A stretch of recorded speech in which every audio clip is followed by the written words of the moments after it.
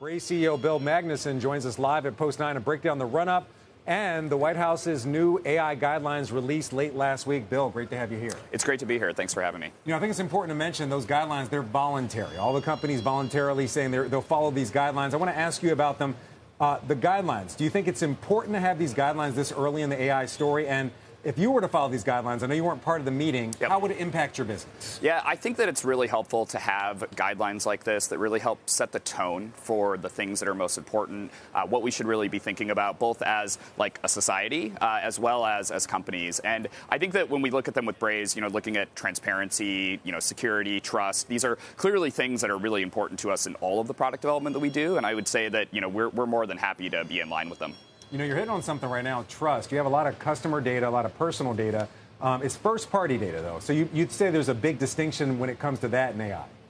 Well, so the first party data world that we live in means that, in general, when we're working with customers, the places that we're delivering messaging to and that we're kind of rendering product experiences for customers are inside of their products. And so when we're acting, when we're using AI, it's on behalf of the customer, which means that it needs to respect things like brand voice, brand safety, um, you know, ensuring that uh, the hallucinations are not going awry and what have you. And, and that means that we have a heavy emphasis on, you know, brand safety and safety and transparency to begin with. You're not just alone in a private chatbot room, right? You're doing all this stuff in public.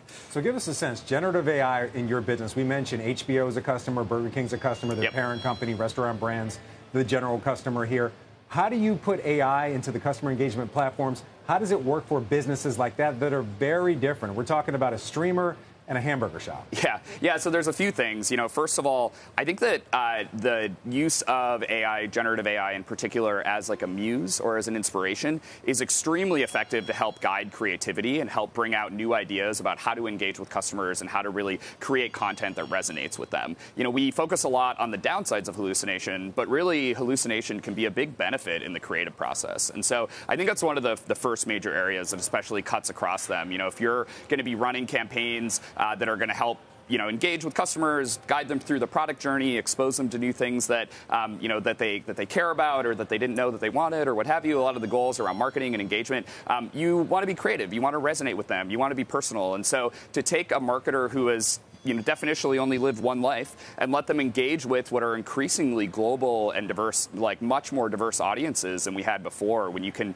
engage with people in every country around the world, currencies, all this cultural diversity, um, people that live in different places are having different experiences. You know, to be able to have generative AI really help create better resonance with all those different groups of people, even when you're one small team trying to figure out the right marketing strategy to deploy. You know, that's a place where that hallucination turns into a really big positive.